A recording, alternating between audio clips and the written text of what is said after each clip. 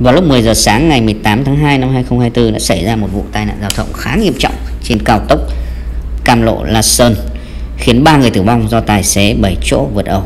Đây là những hình ảnh rất là đau thương xót xa.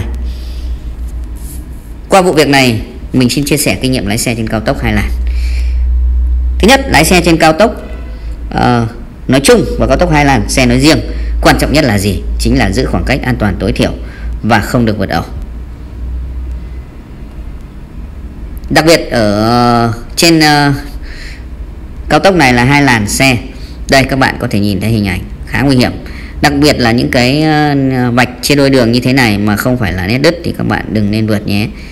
Uh, lái xe trên cao tốc uh, thì các bạn thấy là ở cái cao tốc này chúng ta có đã từng đi chúng ta sẽ thấy ở trên cao bồ Mai Sơn cũng có một cái làn đường kiểu như vậy nên là anh em mình cố gắng đi quan sát kỹ lưỡng. Và thực, thực ra là chúng ta sẽ giữ khoảng cách an toàn và đi trong uh, khoảng cách uh, an toàn và tối thiểu không được vượt nhé.